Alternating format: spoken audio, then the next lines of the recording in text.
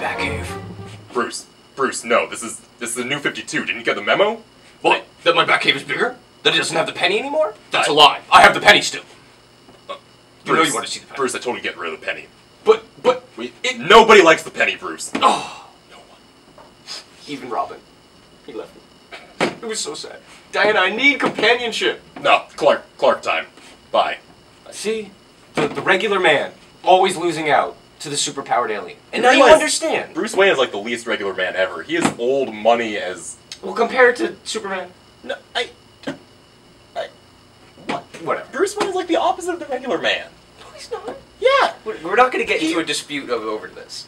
People consider are. Him, people consider him not even a superhero because he has powers. Well, that's regular people are get? stupid. All right. Well, for another time, we will debate the merits of Batman as a human slash superhero. Uh, but for right now, we have comics for you, as usual. As it is Wednesday morning, there's lots of fun and uh, shiny things, many shiny things, and uh, we will start with probably the big book of the week. Yeah. I guess let's just start it off with that. That. Infinity, number one. Big, big Marvel event. Yes, that is Thanos. Yes, you did see him at the end of the Avengers movie. Yes, this does tie in, kinda, sorta. Yeah, totally. Totally. Why not? Yeah. Um, written by Jonathan Hickman, art by um, Jim Cheung, and uh, this is basically the payoff for Avengers, Yeah. the new Avengers that's Everything been going on. that Hickman has been building with his run of Avengers, with the Builders, and uh, the people on Mars. Yeah, the Phobos dude. Yeah. Yeah.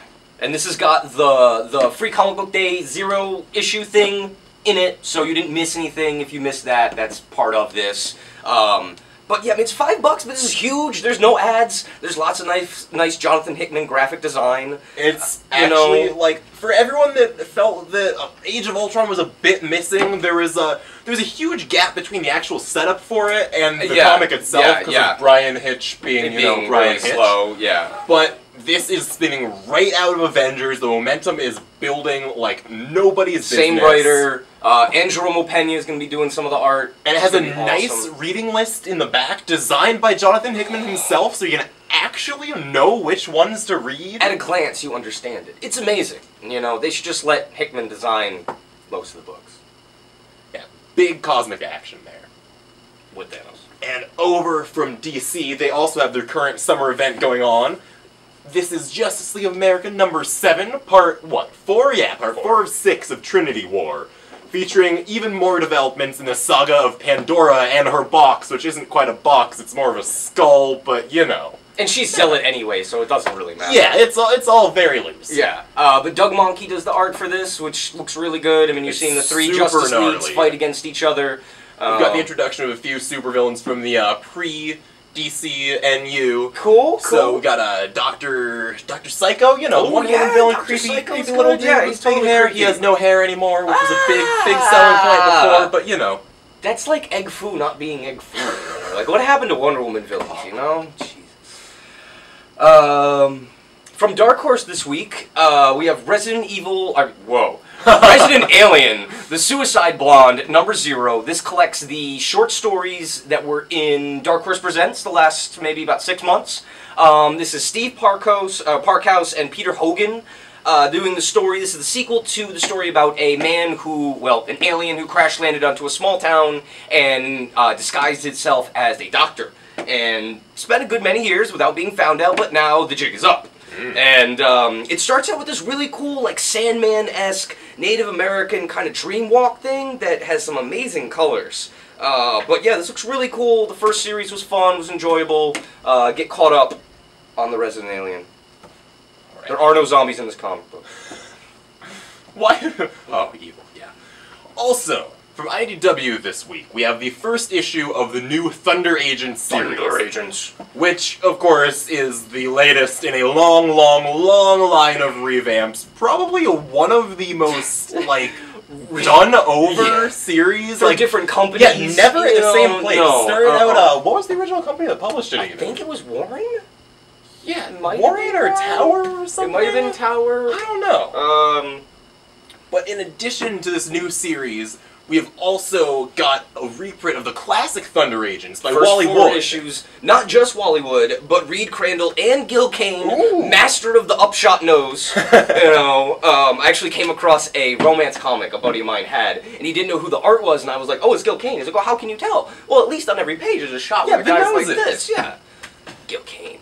Um, but yeah, Thunder Agents is basically the United Nations task force. There's a dude in here named Weed who's a locksmith. We have Kitten, Dynamite, Guy, who's the leader of the squad, because why not? Yeah. Guy. Uh, and then Egghead. I mean, this is some great Silver Age stuff. Uh, it's a good primer for the new book, which is written by Phil Hester, uh, who's done The Coffin. He's uh, a serious comics he- vet he's done a point. lot of stuff. Fire Breather. He Lot worked on uh, The. Anchor with yeah, Brian Churilla. yeah, mostly on art, and he is writing this time, so. Uh, but it should be fun. You know, Thunder Agents is always cool.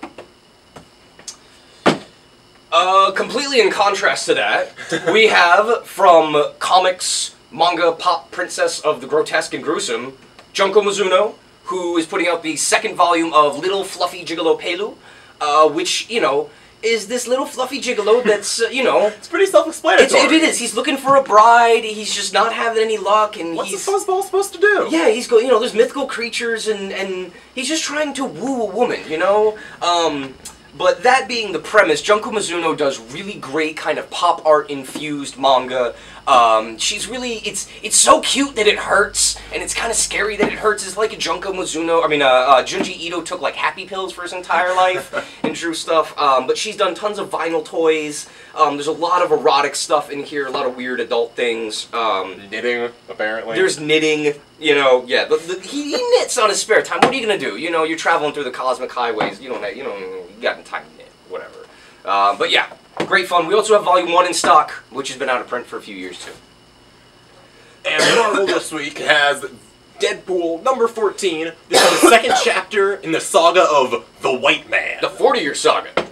yes, the 40 year saga of the White Man, which started in the 70s. He was a little known archenemy of Luke Cage and Iron Fist, who Deadpool helped defeat in the last issue, which was the amazing flashback with The you know, funk the issue. Deadpool fro. Straight up funk. This is it's got a significant lack of afros this issue, but It is modern day. up, yeah. You know, are you Modern day Iron Fist has nice white duds, but the white man wakes up from his 40 year slumber. And what are you gonna do? Keep the black man down. First thing, he's gonna find Luke Cage. He's gonna put him down. Oops. He's gonna steal his baby mama, steal his he's gonna baby. Steal his baby mama.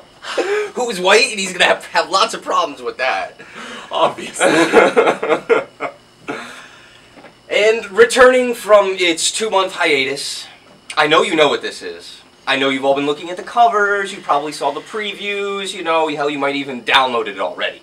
Because it's that kind of thing. Saga, number 13, Brian K. Vaughan, Fiona Staples, it is back, picking up from the end of the second trade for all of you who got the second trade or the first and the second trade. This is right there. This will get you on. If you don't get the next trade, or if you don't get this issue and you want to wait, you're looking at another eight months. Can you really wait eight months? Can you can you ask yourself that? No, I, I didn't think so. No, no, no. You're not gonna be. And plus, our very own Video Monkey is in here. I even scanned an image, so it'll be, Yeah, it'll be see if coming you can up. spot it. See if you can spot it. Might get a no prize. Um, even bigger no prize if you can tell us what he did to get Fiona Staples to do that. um, it happened at the Comic Con this past year. No, we're not giving any hints, but there's a very large, very mysterious no prize that we will give to the winner. Alright, and rounding out this week from Marvel, they have finally gone and done the good deed of reprinting Doctor Strange, Doctor Doom, Triumph and Tragedy. By Mike Mignola. Yeah. This, I, I mean, it's. I spent 10 years trying to find this book, and finally, after seeing it, and the fact that they didn't screw up the color, like, can you believe it? It's beautiful. It's perfect color. It's normal. And because the color is a very important part of this, but you have Doctor Strange, you have Doctor Doom, and you have up. teaming up to, to go to hell and to rescue Doctor Doom's mom's soul from the devil. Doctor Doom even does the friggin' Ditko. He does his magic like Ditko. It's amazing. Alright? And even the back that's not him isn't bad. It's friggin' got some Kevin Nowlan, uh, Doctor Strange, and then you've got some Mike Mignola Submariner. nice. You got, mm, dude, That's that's, some awesome. Mike Mignola Pirate Submariner. Now, if that isn't worth the back half of the book, and it's like 17 bucks. it's like seventeen dollars. So I don't know what the hell is wrong with you this week, but this is what you need to get. absolutely a a a pleasure. It's the best can- of Marvel then. It is. It is. Marvel then, yeah. Uh, and the cover of the week this week from our very favorite Gabriel Ba. Look at that. It's so sexy. I don't even like care what's in the comic, but it's got a chick with a gun with robot circuitry, you know, refuse. Big and a city in the glowing city. background, big glowing city is favorite of Casey's. Yeah, He's a sucker absolutely. for that I am. But that's the True Lives of the Fabulous Killjoys number three, written by Gerard Way, art by the uh, indomitable Becky Cloonan. It's amazing. Um, but yeah, cover of the week. And we also got some new merch this week. Bus Banks. Ooh. We We got a new statue. This is the Artifacts Wonder Woman from Kotobukiya, and it's got pants. See, you can get your Wonder Woman without pants, your Wonder Woman with pants. Yeah. Something for everybody. That's right. That's right. For you and for your daughter. And we also got for your daughter or for you.